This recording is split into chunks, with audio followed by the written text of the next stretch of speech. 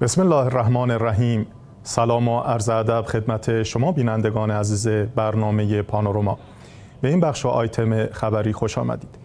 در اولین روز بین المللی سازمان ملل متحد برای مبارزه با اسلام حراسی که توسط پکن و با حمایت کشورهای مسلمان تشکیل شده بود آمریکا چین را به نسل کشی اویغورها متهم کرد.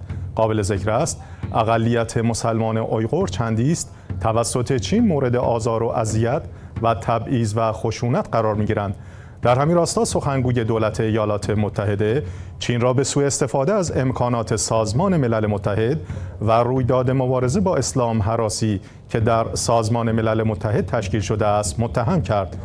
گفتنی است این رویداد به پیشنهاد مجمع عمومی سازمان ملل متحد در سال گذشته قرار است. 15 مارس هر سال تشکیل شود. که این روز مصادف با سال روز حمله به دو مسجد در سال 2019 در نیوزلند و کشته شدن حداقل 51 نفر از مسلمانان در آن مساجد است.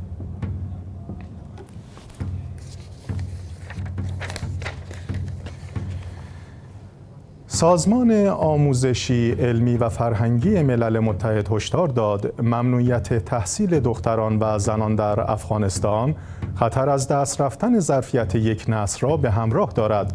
سازمان آموزشی علمی و فرهنگی ملل متحد یونسکو در مطلبی با اظهار اینکه همه دختران و زنان در افغانستان از حق آموزش در دوره متوسطه و آموزش عالی محروم شدهاند هشدار داد.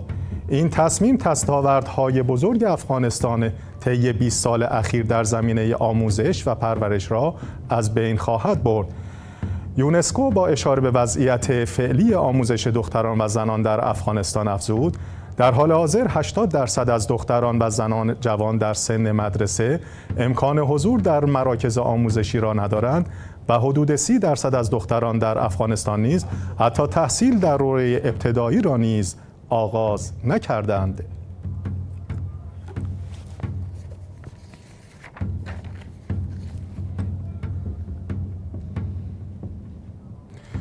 سازمان اطلاعات و امنیت وزارت داخلی عراق صبح امروز چهارشنبه از بازداشت هفت تروریست در استان صلاح الدین عراق خبر داد بر اساس بیانیه صادر شده توسط وزارت کشور عراق در این باره این هفت تروریست بازداشت شده به تبلیغ اندیشه تکفیری و تحریک شهروندان عراقی برای دست زدن به قتل، کشتار و انجام عملیات های تروریستی علیه نیروهای دولتی عراق می پرداختند. این بیانیه همچنین افزود نیروهای وابسته به سازمان اطلاعات و امنیت داخلی عراق به انجام عملیات های اطلاعاتی و رصد تحرکات و اقدامات سنی های تندروی داعش نیز در مناطق مختلف عراق ادامه می دهند.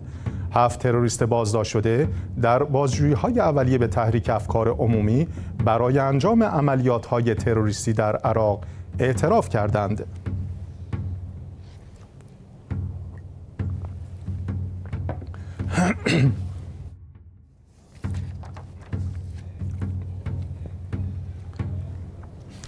پاکستان در پی درگیری هواداران عمران خان نخست وزیر پیشین و نیروهای پلیس ساعت ملتهبی را سپری می کند خان از هوادارانش خواسته است که در صورت بازداشت او از جنبش وی همچنان حمایت کنند.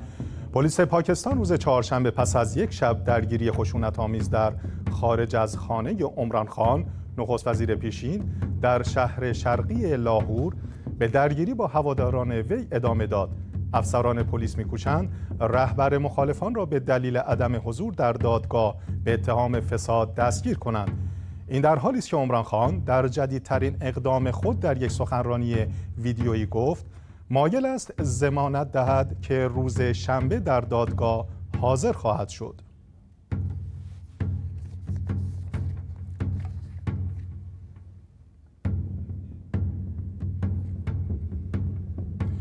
دیدبان حقوق بشر روز چهارشنبه مقامات اماراتی را به بازداشت خودسرانه بیش از 2700 مهاجر افغانستانی در 15 ماه اخیر متهم کرد.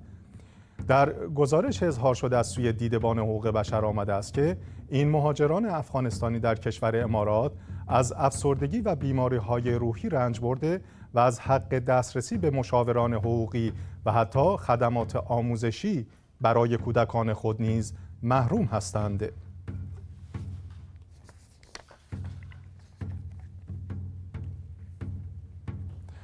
مقامات امنیتی در سومالی گروهک الشباب را به بمبگذاری در یکی از مسافرخانه ها متهم کردند که در اثر آن تا این لحظه سه نفر جان خود را از دست دادند.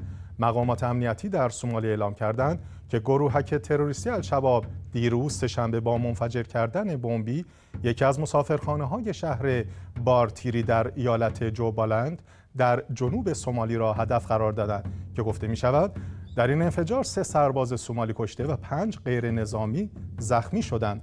تا این لحظه الشباب مسئولیت این حمله انتحاری را بر عهده نگرفته است اما مقامات امنیتی سومالی گروهک تروریستی الشباب را مسئول این بمبگذاری می‌دانند. گفتنی است الشباب یک گروه تروریستی وابسته به شبکه القاعده است که بیش از دو دهه است در شرق آفریقا به ویژه در سومالی فعال است.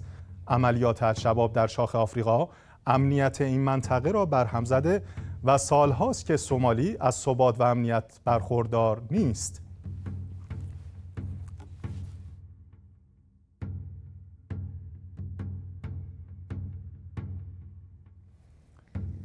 اخبار رسیده از پاکستان حاکی از آن است که شهر لاهور جزو آلوده ترین شهرها از نظر هواشناسی در نظرسنجی های بین المللی معرفی شده و در رتبه سوم جهانی قرار دارد. گزارش IQA اظهار داشت هند و پاکستان بدترین کیفیت هوا را در مناطق آسیای مرکزی و جنوبی در سال 2022 از آن, از آن خود کردند. بر اساس این گزارش لاهور در سال گذشته ده رده از نظر آلودگی هوا سقوط کرده و در رتبه سوم جهان قرار گرفته است.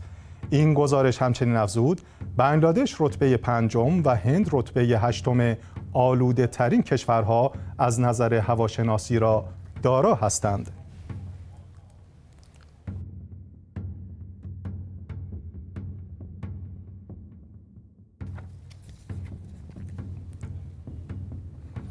در راستای ادامه حمایت های حقوقی مؤسسه فرهنگی نیکوکاری مصباح حسین علیه السلام در شهر مقدس کربلا از ایتام و نیازمندان مرکز حمایت های حقوقی مؤسسه در ماه گذشته نیز خدماتی را به این خانواده ها ارائه کرد.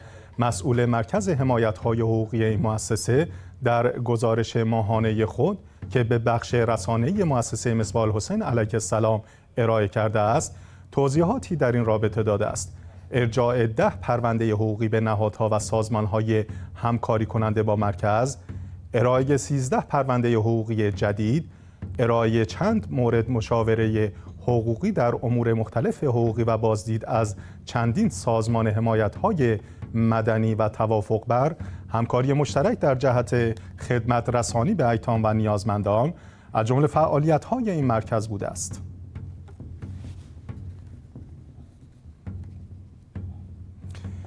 به پایان این بخش خبری رسیدیم. ممنون که با ما همراه بودید.